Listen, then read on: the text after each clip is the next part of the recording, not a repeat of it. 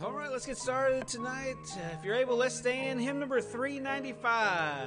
395. In my heart there rings a melody. 395. I have a song that Jesus gave me. It was sent from heaven above. There never was a sweeter melody. Tis a melody of love. In my heart there rings a melody. There rings a melody with heaven's harmony. In my heart there rings a melody. There rings a melody of love. On that last. Twill be my endless theme in glory. With the angels I will sing. Twill be a song with glorious harmony. When the courts of heaven ring. In my heart there rings a melody. There rings a melody with heaven's harmony. In my heart there rings a melody, there rings a melody of love. Turn over to 390. 390 is every promise in the book is mine.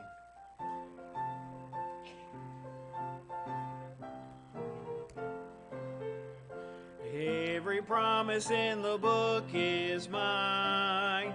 Every chapter, every verse, every line all the blessings of his love divine. Every promise in the book is mine. Let's sing it one more time. Every promise in the book is mine. Every chapter, every verse, every line. All the blessings of his love divine. Every promise in the book is mine. Brother Galen, would you come up here and open us in prayer?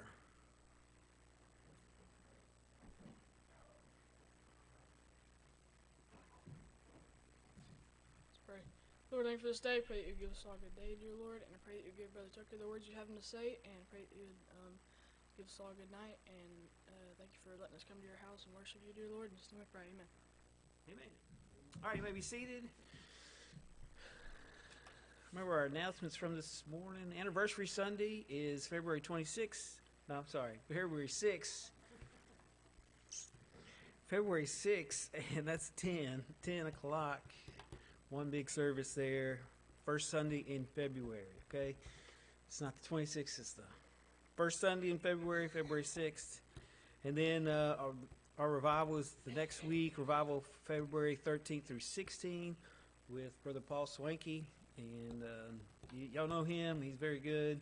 He knows how to expound the scriptures, and just uh, one of my favorite guys. Um, tell you, remind you about Brother Clifton Barker. His he has a surgery procedure done on February 2nd. So y'all pray for him on that. And uh, that procedure is supposed to give him instant relief. So, um, yep. And uh, February 2nd. So that's coming up in a couple weeks. And I ran into them at Walmart and I was getting stuff for to make me a banana pudding. And I had enough, made them some, and then made dad some too. That's in the refrigerator. Uh, just trying out a different recipe. Just I don't. I love banana pudding, so I'm just trying to figure out how I like it. I like it hot. Okay. I like Miss Peggy's, uh, and I'm just I don't I don't like the way I made it today, but it's still edible. Okay. But anyway, um, let's see. Uh, it doesn't, doesn't. It's just I'm up here, so I get to chase a rabbit. if you want some, you can stop by the house. And I did not. No, not not a share. And Finley, Finley got into it, and Liam got into it, and I got into it. Okay, that's the way it goes. Yeah. um, I like it. I made it a little with uh, with cream cheese this time just to try it out. It's it's pretty good. Huh. Anyway, and then uh, my wife tells me that. Uh, uh, I need to s- stay off TikTok for recipes, and uh, that's because that's that's where I get it. I get you know I saw some how they made some biscuits. I almost picked up a little tub of lard just to just to make some biscuits in the morning. Uh, just uh, it's, I'm hungry. That's probably where I'm at right now. Hungry. Um, remember, um, pray for brother Jake down there in uh, Lafayette. I know he got a blessing with thirty thousand raised for for the church there in Lafayette and some dental work and his school kids schooling. So uh, blessing there and uh, pray for brother Burton. They're supposed to come in for our anniversary Sunday, anniversary February sixth. Uh, so they'll be in. I think brother Aaron's supposed to be in. So we're gonna have some some guys coming in. We're gonna have a good crew coming in. So y'all be in your place for for that. Um, they're all out of our church, doing a wonderful work for the Lord, and God's really blessing them and using them. Um, remember to pray for preacher and Miss Deanna, and uh, preacher's sick. Uh, Miss Deanna's, I guess, trying to take care of him. I don't know. Well, Josh don't know. He said I don't go downstairs. I stay away from them. So, um, y'all pray for pray for them. Pray for Miss Deanna, uh, preacher. I don't know who to pray for more. Uh, that's a probably Miss Deanna. All right, so we'll go with that one. Uh, pray for Brother Todd Painter, missionary to Thailand. He's got some health issues, and uh, pray those can get sor- sorted out so he can get back on the field. And then, um, any anybody else with prayer requests tonight? I know it's kind of different, but yes, sir.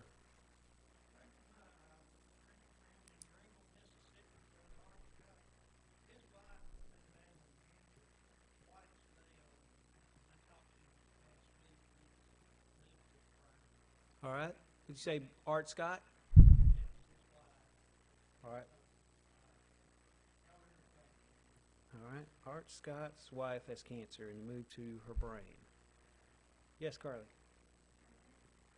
Oh yeah, coming up. Uh, the volleyball, basketball tournaments coming up this week, next week, whenever.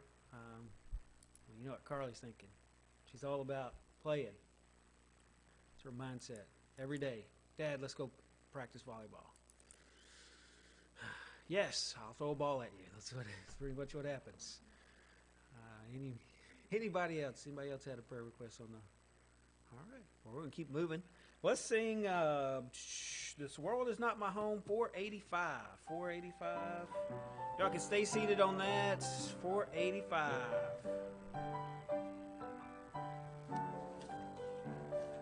Let me get to it first, Crystal. All right, here we go. 485. This world is not my home, I'm just a passing through. My treasures are laid up somewhere beyond the blue. Angels beckon me from heaven's open door, and I can't feel at home in this world anymore. Oh Lord, you know I have no friend like you. If heaven's not my home, then Lord, what will I do? The angels beckon me from heaven's open door, and I can't feel at home in this world anymore. They're all expecting me, and that's one thing I know. My Savior pardoned me, and now I onward go. I know He'll take me through, though I am weak and poor, and I can't feel at home in this world friend like you. If heaven's not my home, then Lord, what will I do? The angels beckon me from heaven's open door, and I can't feel at home in this world anymore. Let's sing the third. I have a loving Savior up in glory land. I don't expect to stop until I with his hand. He's waiting now for me in heaven's open door, and I can't feel at home in this world anymore. Oh Lord, you know I have no friend like you. If heaven's not my home, then Lord, what will I do? Angels beckon me from heaven's open door, and I can't feel at home in this world anymore. Just up in glory land we'll live eternally. The saints on every hand are shouting victory. Their songs of sweetest praise drift back from heaven's shore, and I can't feel at home in this world anymore. Oh Lord, you know I have no friend like you. If heaven's not my home, then Lord, what will I do? The angels beckon me from heaven's open door, and I can't feel at home in this world anymore. Let's turn to 491. 491. Let's stand on this one. 491.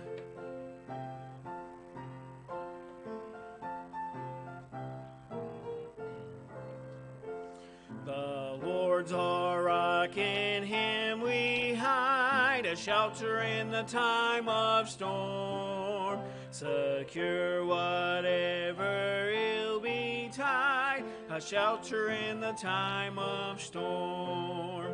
Oh, Jesus is a rock in a weary land, a weary land, a weary land.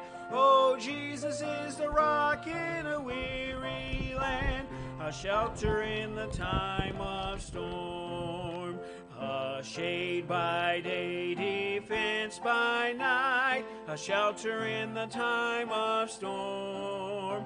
No fears of harm, no foes of fright, a shelter in the time of storm.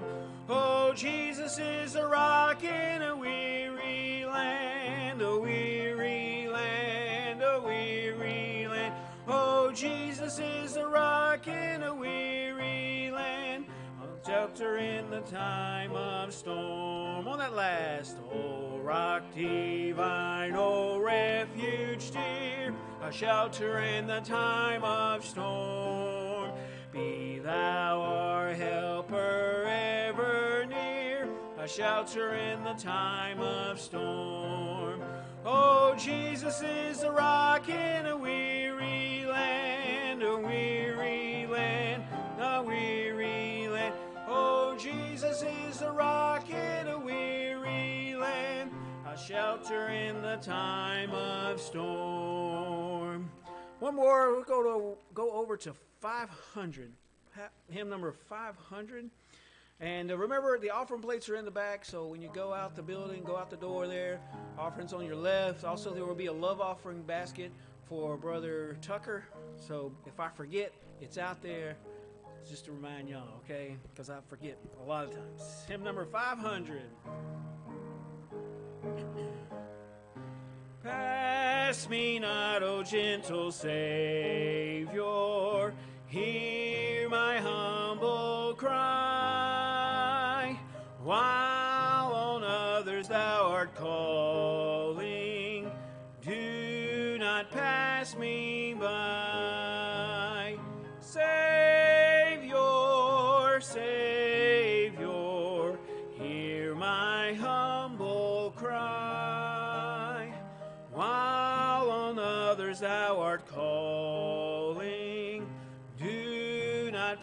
pass me by. On that second, let me at a throne of mercy find a sweet relief,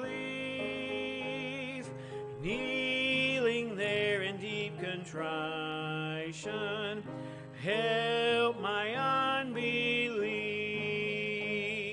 Savior, Savior,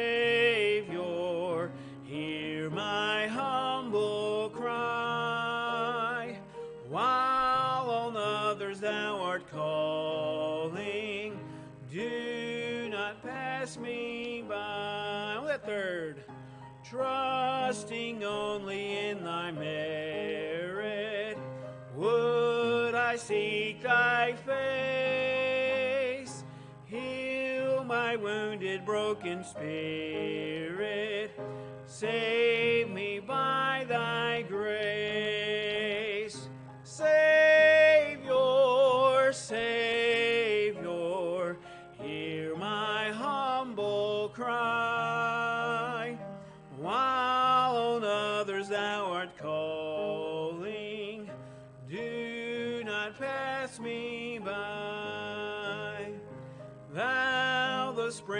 all my comfort, more than life to me. Whom have I on earth beside thee?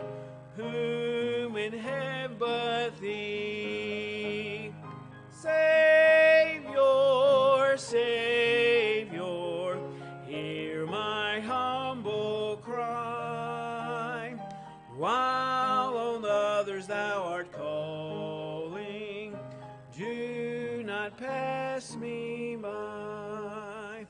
may be seated. All right, Brother Tucker. It's yours.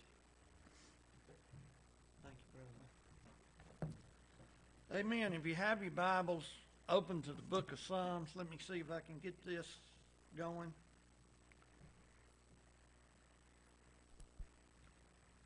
Sit down. Sit down. Okay.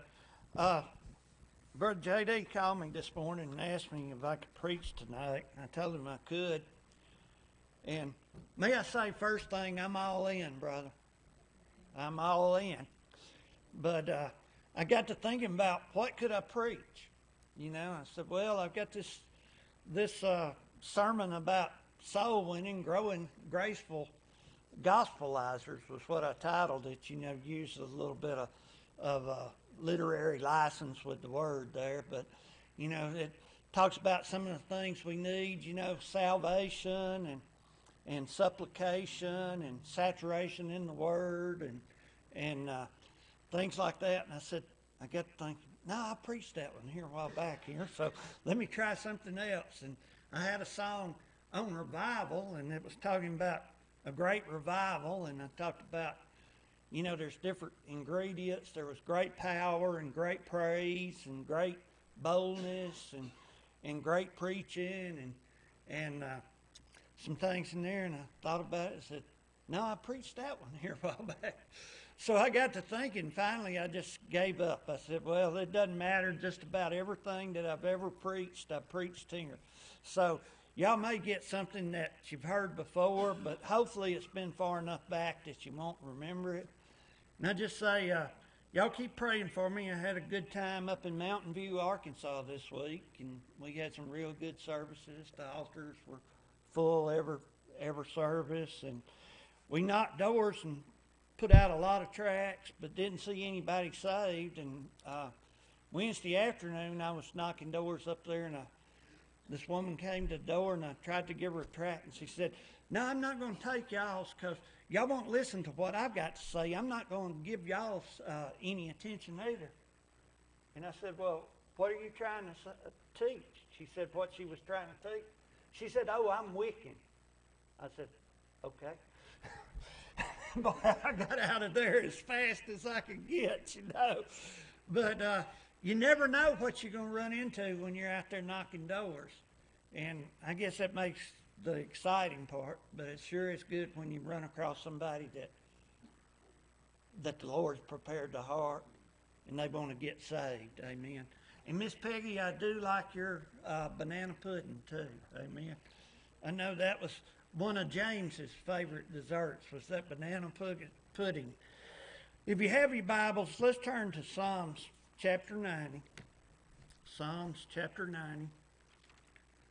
And I will try tonight not to be too long, and I don't see the clock either, but but uh, I'm like Brother Lee. I'm kind of hungry tonight, so I don't think I'll preach too long. Yeah, amen. Psalms chapter 90. We're going to read verse 8 and 9 of Psalms chapter 90. Thou set our iniquities before thee, our secret sins in the light of thy countenance. For all our days are passed away in thy wrath. We spend our years as a tale that is told. Let's go to the Lord in prayer.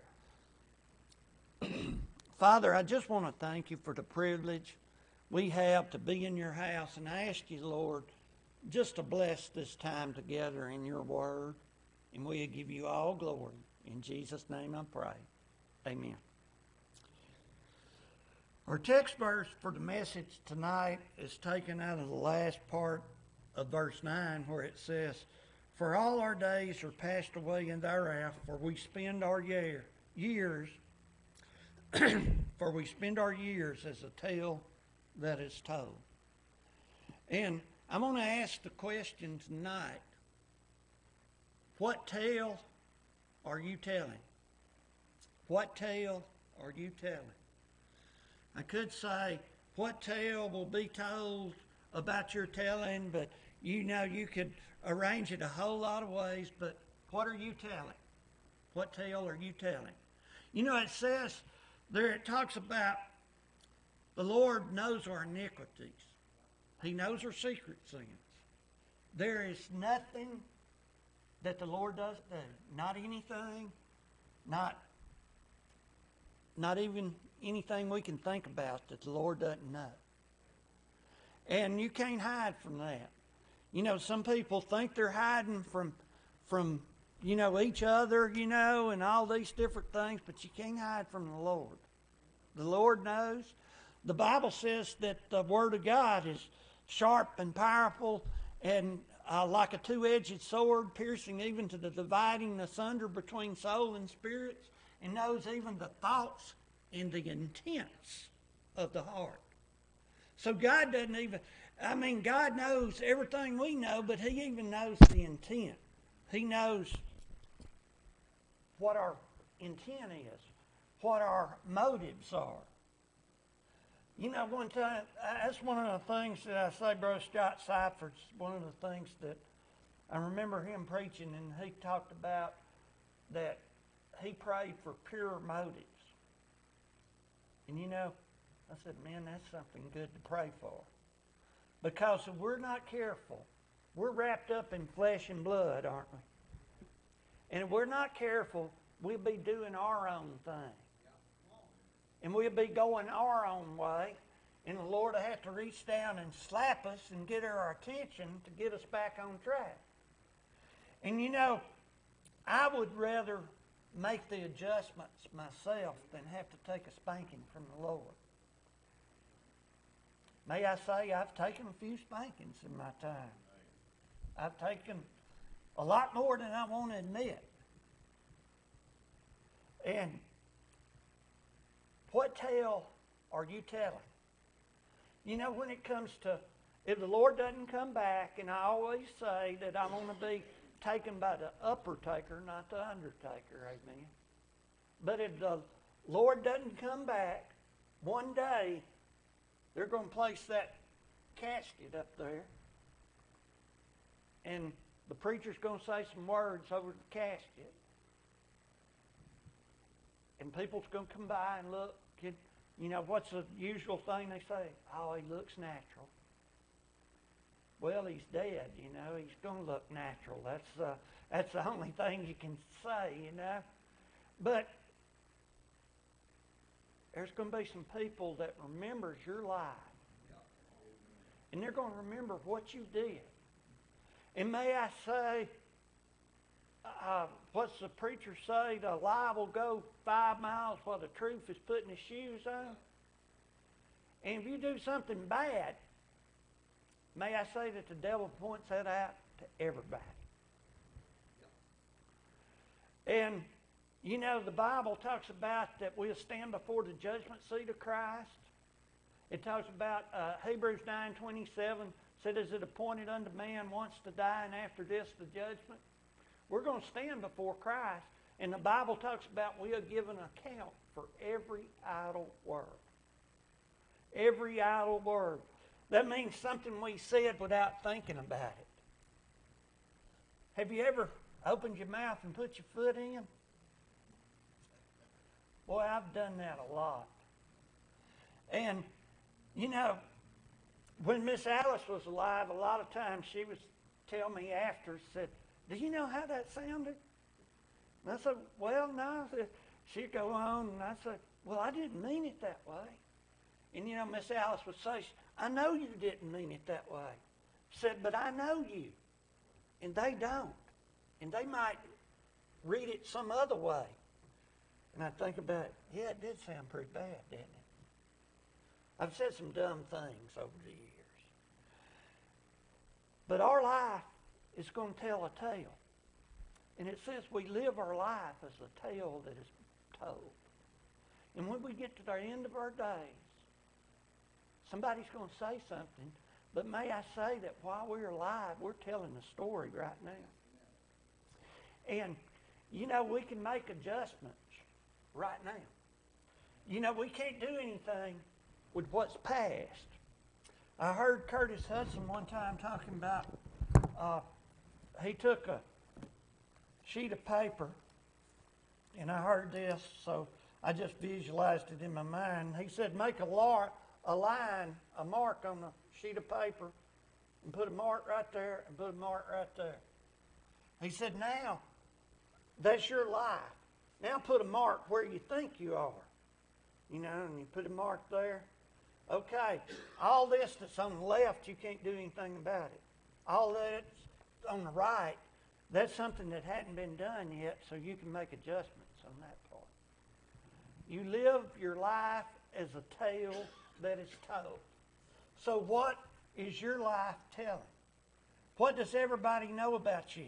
You know, there's some, some things you know about people.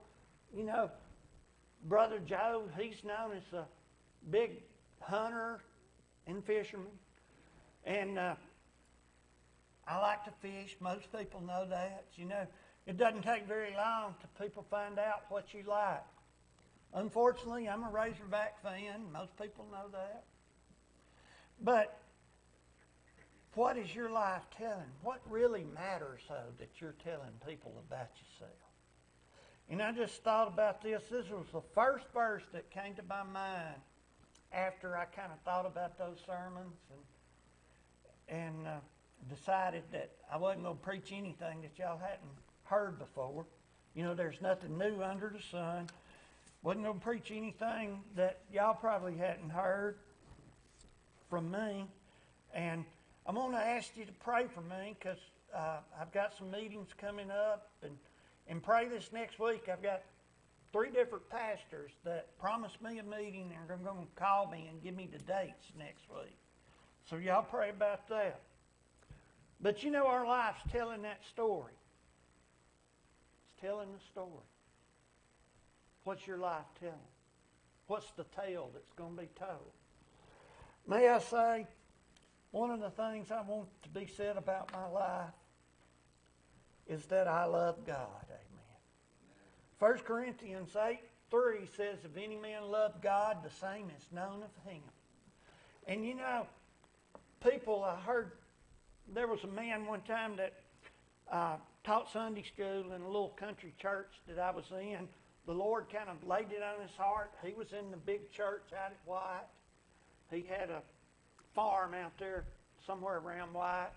And he came, Brother Garfield Goodwin was his name. I mean, a fine Bible teacher.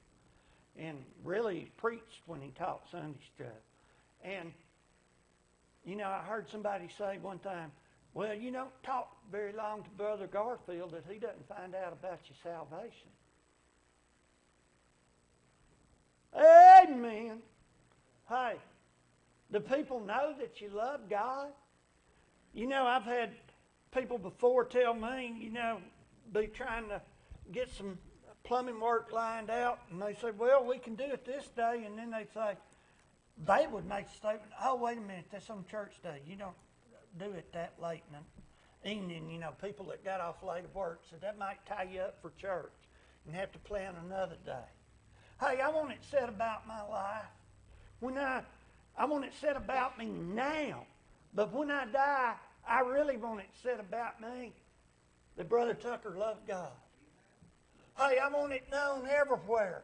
I want to shout it uh, loud and clear and far and near that I love God. You know, I listen to YouTube sometimes. Uh, West Coast Baptist College had a video on it, and uh, an ensemble there. There was about six or eight girls and about six or eight guys that were singing, and this girl was singing, and she said, "The only thing I want in life is to be known for loving Christ, to build His church and love His bride, to make His name known far and wide." I thought, man, that's good. You know, can it be said about you? Hey, Brother Tucker loved God. Or are they going to come to that point and say, man, that was a mean old joker? What tale are you, what tale is your life telling right now? What will be the tale that's told? May I say, we're writing the chapters right now. Writing the chapters right now. What tale will be told? And I want it said about me, first and foremost, that I love God. Number two, I want it said that I love my family and my church and my church family and my pastor. Amen. You know, the Bible says that in Psalms 133 1 says, Behold, how good and how pleasant it is for brethren to dwell together in unity. 2 John 5, let me look over here. I forgot what that says off the top of my head. 2 John 5 says, Oh, said, but I wrote a new commandment unto thee that but that which we had from the beginning, that we love one another. 1 Timothy 5:17. 1 Timothy 5:17. And it's in my Bible there. Right before 2 Timothy. 1 Timothy 5:17 says, Let the elders that rule well be counted worthy of double honor, especially they who labor in the word and doctrine. Hey, I want it said I love my church. Amen. Do you love your church? Do you love your pastor? Amen. I think I'm in the greatest church in the world. I think I have the greatest pastor in the world. And it said, Let the elders that rule well be counted worthy of double honor. Hey, may I say, we ought to be thankful that we don't have a lot of those Dr. So and so's for our pastor. Because a lot of those guys, they may have a bunch of degrees, more degrees than a thermometer, and they sit in their office and they never do anything to try to help anybody. I know uh, one church, big church in town, and a friend of mine, he does air conditioning work, and he was working for, uh, uh, I can't think, Comfort Heating and Air at that time. And he made an appointment with this pastor because somebody that he was working with, their family were members of this church. And this guy, the Lord was dealing about salvation, about salvation with him. And he came to this pastor and told him, hey man, he's he's asking questions, he's getting ready. I believe if you just call him in, you could lead him to the Lord right now. And the pastor of this big church said, I do my evangelism from the pulpit.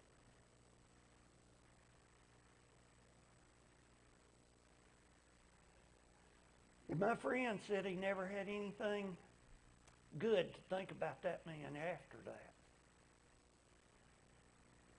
In other words, somebody was ready to get saved, but you were too lazy to, to make an appointment with them and lead them to the Lord. I don't know what you thought you was doing, but hey, we got a great pastor. Hey, we got a great church. Hey, it's not perfect. I'm a member of it, so that makes it not perfect, doesn't it? But you know, that's the thing. If somebody said they really loved the ministry, it was just the people that gave them problems, you know. Well, you know, that's what the ministry is about. It's about people, and we all have our own preferences and our own ideas, and we all, sometimes we kind of push each other the wrong way and do things, but the bottom line, hey, we got a church where we can serve God. The Bible is being preached, preached. The Bible is being preached. I can say the words, I promise I can.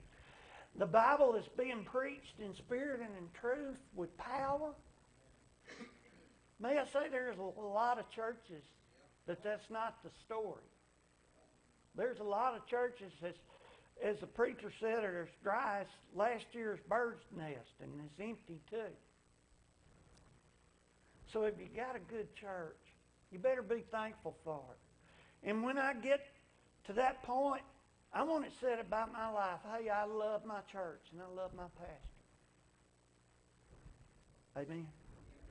And you know, if we love God, we're going to love people. Amen. And we're going to love each other. And we're going to love our church. Hey, what do we call the group of believers? A church family. Amen. And that's what we are. We're a family. And you know, we ought to act like that. We ought to love one another. And I want it said about my life that I love God and I love my church. And I also want it said about my life that I love this book. Amen. 2 Timothy 2.15 says, Study to show thyself approved unto God, a workman that needeth not to be ashamed, rightly dividing the word of truth. I want it known about my life that I had a love for this book. Hey, I love this book. And I love to preach this book. Amen. And you know what? I was getting when I first started preaching and everything and and through the youth fellowship, Joe Tar and I, I became pretty good friends, you know. And I was asking him pray about I was getting to preach somewhere and I said, Pray that I'll have the right message, you know. He said, You got a King James Bible, you're gonna have the right message. I said that's all that makes a difference. So you have the right message. And I never had really thought about it, you know, but hey, we got plenty of, of preaching material and we don't ever exhaust that material. Hey, I want it said that I love this book. You know, if you turn your Bibles over there to 2 Timothy chapter 4, I want you to see what Paul wrote to Timothy. In 2 Timothy chapter 4, verse 1, he said, I charge thee, therefore, before God and the Lord Jesus Christ, who shall judge the quick and the dead at his appearing in his kingdom, preach the word, be instant in season, out of season, reprove, rebuke, exhort with all long suffering and doctrine. For the time will come when they will not endure sound doctrine, but after their own lust they shall heap to themselves teachers, having itching ears, and they shall turn away their ears from the truth, and shall be turned unto fables. But watch thou in all things, endure affliction, do the work of, of an evangelist, make full proof of thy ministry. Paul told Timothy, preach the word. And you know, like I said, he said the time will come when they will not endure sound doctrine. Hey, we're living in those days right now. You know, the, a lot of these churches, you see them, they've got them full, and they want somebody to come up and talk about some kind of psychology for 30 minutes. And a friend of mine made the statement that he listened to one of those TV evangelists on purpose one time, two different sermons for 30 minutes just to see how it was. He said in two 30 minute sermons, the only time he ever heard the name of Jesus was when he prayed at the end. Said somebody evidently taught him how to pray in the name of Jesus. And that's the only time he ever mentioned. There was 16, 18,000 there, both services, and never said the word of Jesus. What's it talk about? Human reasoning? That we should not uh, be turned into fables? And that we shouldn't listen to those uh, endless genealogies and things that minister questions? Hey, we got the truth. We don't have to deviate, deviate from the truth. We just need to stay on the right path and just keep preaching. Amen. So I want it said about my life that I love this book. Hey, I don't know how much time I've got left, but the time that I have left, I want to preach this word, and I want God to use me greater than He ever has. Amen. And y'all just keep praying for me that the Lord open doors, and the Lord is opening doors, and I thank God for that. But I want it said that I love God, and that I love my church, and I love my pastor, and I love this book. And I want it said about me that I love souls. When I get to the end of my life, nobody could give me a greater compliment than say Brother Tucker was a soul. I remember one time we had a lady in the church. I led her to the Lord. And I told Alice when I led her to the Lord, I said, unless the Lord changes her heart, we'll never keep her because she griped about every church she's ever been in. Y'all hear me? And sure enough, oh, they were all excited for a while. And then Grandma got sick, and they started missing, you know, because Grandma was sick. And then hunting season started, or hunting season if you're from up north. And so they were missing even more. And my daughter, Kim, and one of the ladies went out to visit her, and she was all upset. We had had a revival, Brother Ben Nichols preached for us. And there was this lady who came, and her grandson came with her, and another young boy, and the lady was, the the grandson was about 13, the boy's about 13, big old tall boys, you know. And one of them went back to get a drink of water, and he was just standing around there looking at the picture. And Brother Nichols said, Hey, preacher, go get the kid and tell him to come in here where he can listen to the preaching. He's just looking at the picture. So I went back and said, Come on, man, let's go up here and sit down. After the service, that young man got saved. Amen. But that lady got all upset because it, that preacher called that kid down during the service. She didn't say anything about the boy getting saved. I said, but the boy got saved. Oh, she wouldn't focus on that. She focused on the fact that the preacher said something about it. Hey, haven't we all been taught to act right in church? And I know sometimes when we're kids, sometimes we don't quite make it. I know I didn't go to church very much, but my cousin went to this uh, Pilgrim Rest at the time, and sometimes I'd go with him. My mother didn't really like me going because he was such a bad driver. And she was afraid, you know. She'd see him on the wrong side of the roads and different things. So she was really afraid of letting me go with him, but I went a few times. And she told me before I left, it said, You sit on that front row and you be quiet and you behave while that preacher's preaching. Said, If you cut up, said all your aunts and uncles down there, I'll know it before you get halfway back house. I'll know what you've done. And then you're going to have trouble. You know what I did when I came to church? When it was time for preaching, I sit there like this. And I looked at the preacher. Now, some of my cousins right there be talking back and forth between me, and I was thinking, oh no, they're going to say something about it, and I'm going to get in trouble. But what are you saying, Brother Bobby? This lady also made the statement during that. She was complaining about the preaching, which she hadn't heard in a while. Said there wasn't nothing being preached there. Said all y'all are about is soul winning. And I didn't think about it at the time. I'd preached through the book of James, the book of Ephesians, the book of Philippians, book of Colossians, you know, going through the Bible on Wednesday night. But of course they wasn't there on Wednesday night. But later on, I got to thinking about it. She was trying to run me down, but that's the greatest compliment she could give me was that I was uh, the church was all about soul winning.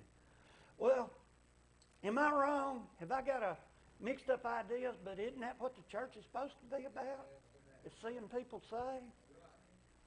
But I want it said about me that I'm a soul winner. You know, the Bible says, Go ye therefore into all the world and preach the gospel to every creature. You know, every person needs a preacher. Every creature needs a preacher. And there's somebody that I can reach and somebody that you can reach that nobody else can reach. Because you have a way with them and they'll listen to you, but they might not listen to uh, a preacher. Are you hearing what I'm saying? I want it said about my life that I love my that I love God, that I love my church, and I love my pastor, that I love the book, and that I love soul winning. May I say, what's the Bible say about he that converteth the sinner from the error of his way shall save a soul from death and shall hide a multitude of sins? You know, that verse is true. I ought to be busy all the time because I got a multitude of sins I need hid. Amen. Soul winning. We ought to be busy about it. And then somebody comes to the end of my life and they're at my casket and they're talking about me. I want it said that I was a man of prayer. Amen. Hey, what's the Bible tell us? 1 Thessalonians 5.17, pray without ceasing. You know, when I first surrendered to preach and I heard all these guys talking and they were getting all these books and they were telling you how to preach and how to pray and all this stuff. And I was reading this book, Dr. House, you know, he said that he, uh, down there in Texas, he prayed at least 10 hours a week. He went soul winning at least 10 hours a week, and he read his Bible at least 10 hours a week. So one day I got the bad I, the idea I, I'm going to see how long that I actually pray, you know. And I had my list, and I went through and I prayed my heart out. And I looked up 20 minutes. 20 minutes. Well, you know, everybody's not a marathon runner and everybody's not a marathon prayer, but we can all pray some. And you know, if you get the Lord on the line and keep that attitude of prayer, you know, during your day you think of something. You so just lift her name up to the Lord. Hey, Lord, help so and so over there. They're going through a hard time right now. Amen. I want it said about me that I'm a man of prayer. And you know, people call and want me to pray for things, and I pray, but you know, the Bible said, not the Bible, but John R. Rice was famous for making the statement, all our failures are prayer failures. Now, I've failed so much, so I must have failed to pray enough. And that's sad. But I can't do anything about yesterday. I can do something about tomorrow. and start tomorrow on my knees before God. And I can start praying. So I want it said, what is your life telling? What's the tale that's going to be told when you're gone? When you stand before God and God says, is he going to say, well done, thou good and faithful servant? Or are you going to be red-faced and ashamed? I know it's with fear and trembling that I think about the judgment seat of Christ. But I want it said that I love God, that I love my church, and I love my pastor, and I love this book, and I love soul winning, and I want to be a man of prayer, and I also want to be a man that's looking for a second coming. Amen. I preach about the second coming a lot when I preach. But you know, if we could just get a hold of that ministry, that message, just get a hold of that thought. Hey, the Lord's coming back. I don't know the hour or the date. I'm not going to set a date. You know, all these nuts, they always set the date and give that reasons. I know back in the 80s, in 87, I think it was, they came out with a book, The 87 Reasons Why the Rapture's going to occur in 87. Every preacher I knew had a copy of that book, you know. They wanted to see what the guy was saying, you know. But I want to look for his appearing. He's coming. If I could just get that in my everyday thoughts. Lord, what will you have me do today? Because you may come back. If I took that as something that guided my day, would it make a difference in what I did? Or would I just go along just skipping along, thinking about my own stuff, not worried about anybody else? I want it said that I love his appearing. In 2 Timothy chapter 4, verse 8, Paul says, Henceforth there is laid up for me a crown of righteousness, which the Lord, the righteous judge, shall give me at that day, and not to me only, but unto all them also that love his appearing. That love his appearing. Hey, there's a crown that we can win to lay down at Jesus' feet if we're looking for that second coming. You know, the Bible says, in an hour you think, uh, in an hour you think not, the Lord's coming. Do you really believe He's coming today? Do you really believe He's coming tomorrow? You know, they say, well, He could, but we really don't live like we think He's coming. And I'm not saying, you know, quit everything you're doing and go up on a mountaintop like some of those nuts did years ago, you know, and and just be busy about the Lord's business and be thinking about the Lord could come back today. And I always loved what the preacher said about LaDonna Collins. And he preached on the second coming one day. And he saw LaDonna. She was out there looking out the window. And he said, LaDonna, what you doing? She said, well, I was looking to see if the Lord was coming. He said he could come back today. I'm just checking. And everybody that knows LaDonna Collins knows LaDonna was a special young lady. But you know, that ought to be all of us this attitude. Hey, I'm looking for him coming. So I want it said, most of all, that I love God, that I love my church my pastor, that I love this book, that I love soul winning, that I was a man of prayer, that I was looking for his appearing. But I also want it said that I finished well. Apostle Paul said there in 2 Timothy chapter 4, verse 7, he said, I had fought a good fight. I had finished my course. I have kept the faith. Boy, wouldn't that be an awesome comment? Somebody said he fought a good fight. He finished his course. He's kept the faith. And I know I fall so short every day. And I should probably have used somebody else as an example.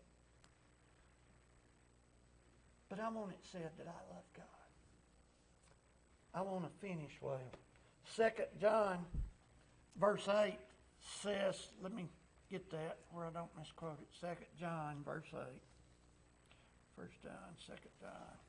Let's see, I'm right in here on top of it. Second John, verse 8 says, Look to yourselves that we lose not those things which we have wrought, but that we receive a full reward. That we receive a full reward. So the Apostle John's implying that, hey, we can lose some of the treasure that we laid up in heaven if we just get slack and we just say, Lord, I'm not worrying about you anymore. I heard it one time I heard a preacher say that,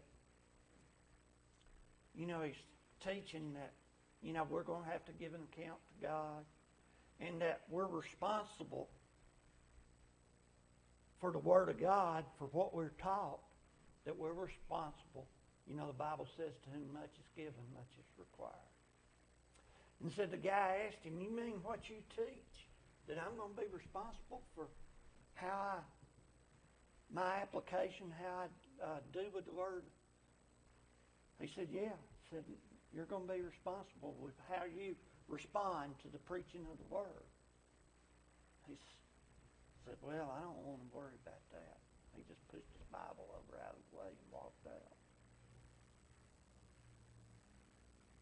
You know, that's a poor attitude. And he said that's only happened once. And this was a preacher that pastored thousands of people.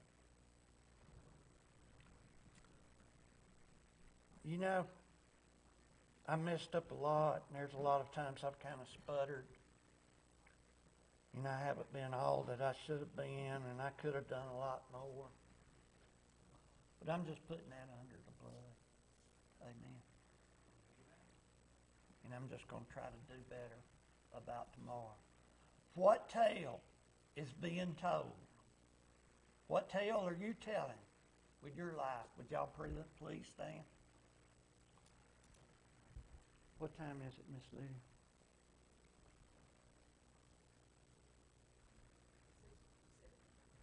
Six fifty-seven. I got through in time. Amen.